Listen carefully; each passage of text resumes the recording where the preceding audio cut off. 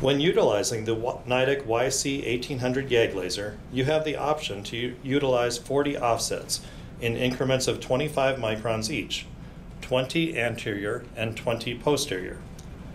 Although defocusing can still be used if desired, the offset feature allows the operator to focus on the cornea and then to dial in the correct offset instead of defocusing.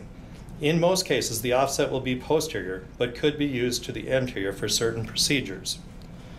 To utilize the offset, you will use the second knob on either side of the YC 1800 YAG laser. By rotating the knob to a hard click, you will increase or decrease by 125 microns quickly.